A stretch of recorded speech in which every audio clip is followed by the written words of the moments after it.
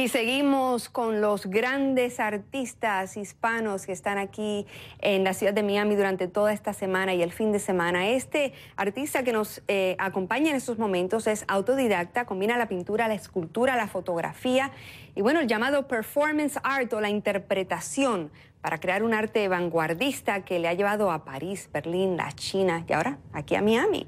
aunque todavía no se habla mucho de nuevos movimientos de arte, en el siglo XXI, algunos conocedores del tema pues están mencionando que el mundo digital es lo que está influyendo enormemente el rumbo de las expresiones plásticas.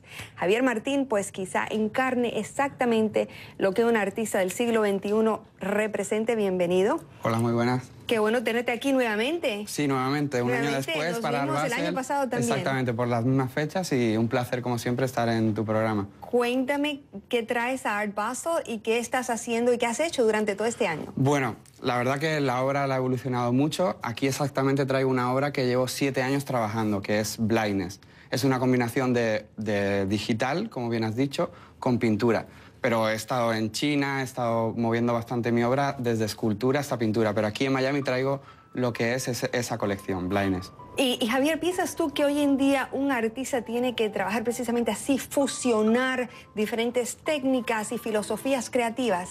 Pienso que eh, el arte va evolucionando y estamos en un momento de la vida que tenemos tanta información y tantas cosas que tenemos que mezclarlas, tenemos que lanzar el mensaje con las cosas que vamos teniendo alrededor.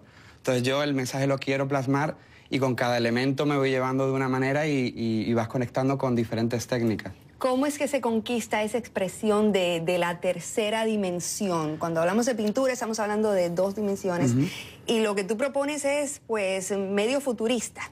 Bueno, cuando tienes una idea y la quieres plasmar, llega un momento en que la quería ver pero en real y lanzar ese mensaje a la sociedad, pero que lo pudiera ver de todas las partes, ¿no? Entonces me metí un poco en la escultura, y empecé a crear personas que iban saliendo un poco de la galería, iban entrando, pero siempre con un mensaje social hacia, hacia las personas que puedan reflexionar cuando, cuando ven la obra. Cuando hablamos, Javier, de mensaje social, no sé si estás hablando de España, el momento tan difícil económico que está atravesando, el momento de los indignados que se están tomando las plazas, o estás hablando de quizá una propuesta social más global.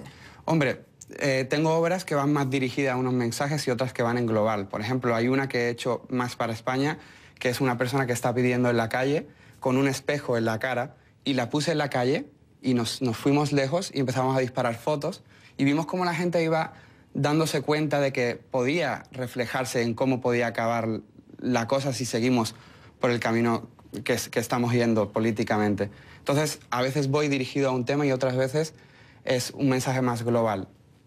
¿Qué representa para un artista llegar a una feria tan enorme y diría yo también abrumadora, como lo es Art Basel, con, que es una, una feria enorme pero con tantos satélites que no vas a alcanzar a verlo todo aunque quieras? Es como el Disneylandia de las artes. Sí, yo prácticamente para mí Miami ya no es solo Art Basel, es, es todo esta semana, ¿no? Es como un evento global de arte y para mí es uno de los puntos del mundo donde donde más se concentra en esa semana la cultura del arte, no solo en una feria, sino en todas las exposiciones satélites que, hay.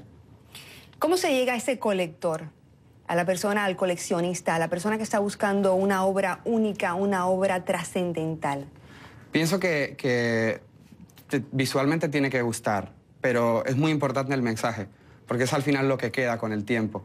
La obra va pasando en diferentes etapas pero el mensaje siempre está ahí. Aunque evolucionemos a otro tipo de pintura, nunca olvidamos los mensajes que nos querían lanzar esos artistas antes. Y, siempre ha sido igual, un buen coleccionista busca una pieza que le transmita ese mensaje siempre.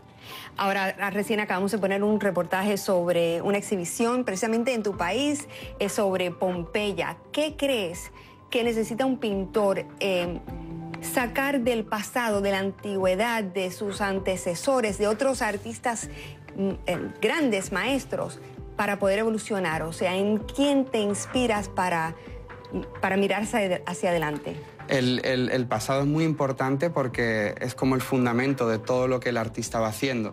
Siempre yo lo, lo utilizo como una, como una inspiración, pero intento mirar lo que está ocurriendo ahora y cómo esos artistas en el pasado estaban explicando lo que ocurría en su tiempo. Entonces yo intento ponerme en mi tiempo, intentar expresar con mi pintura lo que está ocurriendo en, en mi tiempo. Entonces al final es como el mismo mensaje, pero cada uno en nuestra, en nuestra época tenemos que defenderlo de una, de una Ahora, manera. si te doy tres, ah, tres españoles, a ver si, si, si me pudieras decir qué te inspiran ellos. Eh, Velázquez, Goya, eh, Picasso. Ok, me, me inspiran en global eh, un poco de revolución, porque es- estaban en ciertos momentos que necesitaban con la pintura revolucionar cosas, como hizo, como hizo Goya y como hizo Picasso con la pintura. Guernica, por ejemplo. Por ejemplo, entonces esa pintura es la que, aunque ahora se utilicen otras técnicas, siempre va a tener ese peso del mensaje. Y es, es lo que yo busco en mi obra, que aunque pasen 50 años, el mensaje, aunque esté evolucionando la pintura, sea siempre el que yo quería dar. ¿Ya pintaste tu Guernica o todavía lo estás buscando? Pienso que, que estoy mm, como buscando ¿no? ese gran mensaje. He dado muchos que, que la, que la sociedad poco a poco va aceptando y va comprendiendo, pero nunca puedes parar de evolucionar. De hecho, Picasso siempre estuvo evolucionando y yo pienso que el artista siempre muere evolucionando. Lo del mendigo con el espejo en la cara me parece absolutamente genial. Javier, qué gusto tenerte en Notimundo. Muchas Muchísimas gracias y un placer. Con mucho placer. gusto.